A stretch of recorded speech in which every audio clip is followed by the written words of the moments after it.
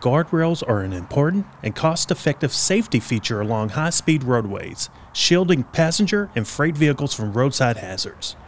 The end transition piece of the guardrail is very important to the overall safety because its purpose is to lessen the severity of vehicle collision with the guardrail end. The Texas Department of Transportation supports research and development of continuous improvements and innovations to the guardrail systems in place across the state. The Texas A&M Transportation Institute developed a MASH TL4 compliant guardrail system in 2021 and has now completed the design and full-scale crash testing of an end transition for the TL4 guardrail system, making it ready for full implementation. Guardrails that you see on the side of the roads prevent vehicles from getting off the road. They do that to prevent them from striking an object or crossing over to the other side or rolling over on a, on a ditch. The standard guardrail that you see on the side of the road is designed for passenger vehicles. There are others that are designed for freight vehicles, so like a single unit truck or a tractor trailer. There are locations that uh, will have a higher percentage of trucks. And so a TL4 system is actually a 22,000 pound delivery truck at 56 miles per hour. So it's a, a more rigorous system to uh, prevent uh, collapse of uh, a guardrail or whatever else, other type of roadside safety hardware might be used if it's hit by a larger vehicle. We were looking at the transition from the uh, TL4 system, which is, I believe, 40 inches high, uh, down to the standard metal beam guard fence system.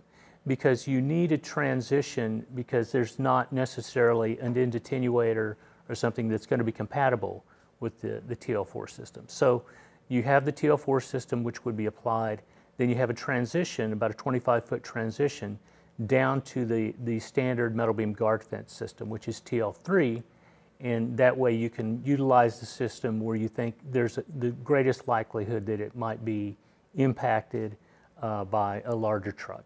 For this research, we came up with different concepts of taking the shape of the, the test level 4 guardrail and morphing it gradually to a standard guardrail. Um, it was done here at TTI in the Roadside Safety and Physical Security Division. Uh, we came up with different concepts, then we simulated some of those concepts using finite element simulations.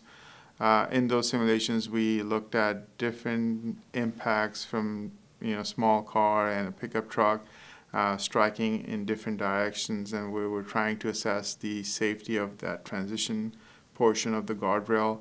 We did a lot of iterations on the design, the initial concepts that we had, until we came up with something that we felt was worthy of testing, and we, we felt good about it working well in crash testing. We performed two tests. Both of those tests worked very nicely. Um, and as a result, we have a, a very nice uh, transition design.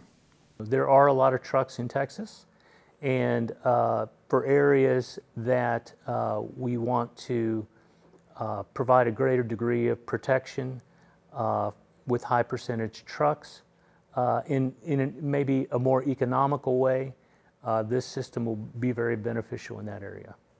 For more information and to find the publication for this project, please visit the TxDOT Research Library at the link shown below.